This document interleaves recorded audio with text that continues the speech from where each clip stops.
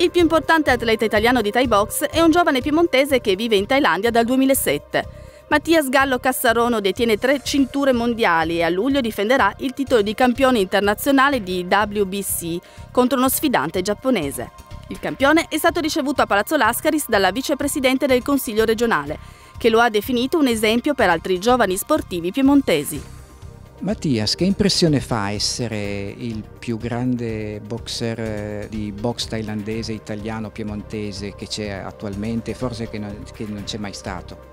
Sì, sicuramente è una cosa strana per molte persone perché il nostro sport appunto non è così conosciuto, così seguito, anche se negli ultimi anni sta crescendo esponenzialmente. Diciamo. Sono molto contento di essere l'unico piemontese e uno dei pochi italiani diciamo, a questi livelli in questo sport, in questa disciplina, in questa arte.